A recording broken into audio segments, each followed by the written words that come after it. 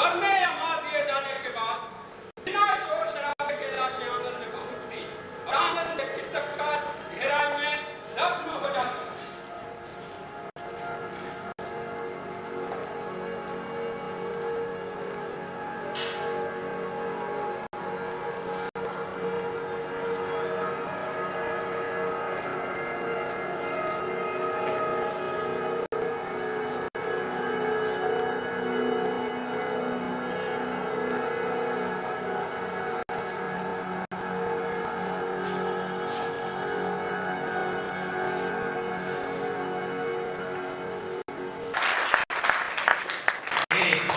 हैं अन्यथा के लिए दौड़ा कर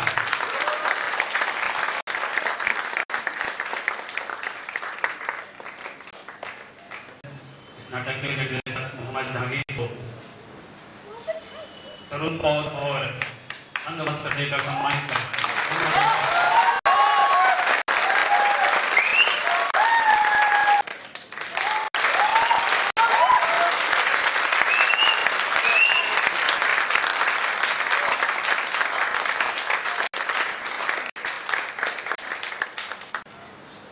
ये नाटक जो आपने देखा,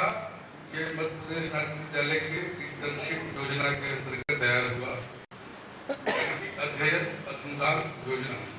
प्रतिवर्ष हम 25 विद्यार्थियों जैसे 15 विद्यार्थियों का चयन करते हैं और उन 15 विद्यार्थियों को स्कॉलरशिप देते हैं और प्रोडक्शन के लिए उनको सहयोग करते हैं। तो ये प्रथम त्रैमास में एक नाटक जहांगीर का हुआ अगला महीना जो होगा उसमें भी एक नाटक करेंगे, इस तरह से पूरे साल चार नाटक जहांगीर खान के निर्देशन में आप लोगों को देखने को मिलेगा। तो ये नाटक, वो नाटक नहीं था, बल्कि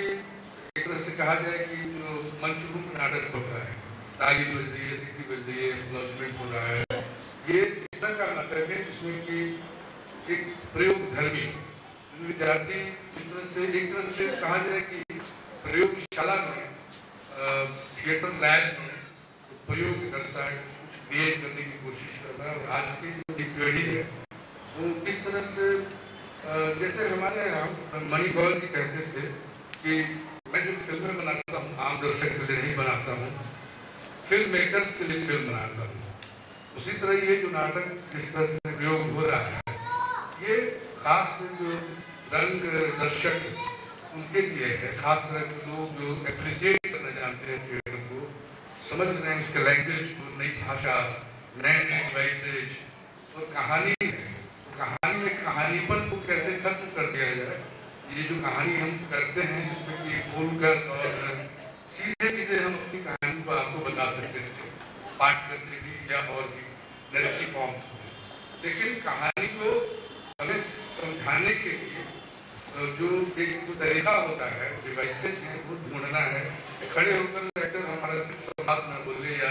नरेटिव्स को सिर्फ़ नरेट न करे, बल्कि उसके लिए तरीका, एक डिवाइस एक शैली की तलाश करे। और उसके तहत उसको करने की कोशिश की तो इस तरह से जो कुछ भी सीखा है आगे में उसको उसके मंच पे एक तरह से प्रायोगिक रंग के तहत इसको आप मान सकते हैं। करने की कोशिश की है मैं बहुत बहुत अ, नाट्य विद्यालय के निदेशक होने के नाते इंटर्नशिप तो ये सहयोग वाला कि मैं यहाँ हूँ और ये प्रदर्शन कर रहे हैं तो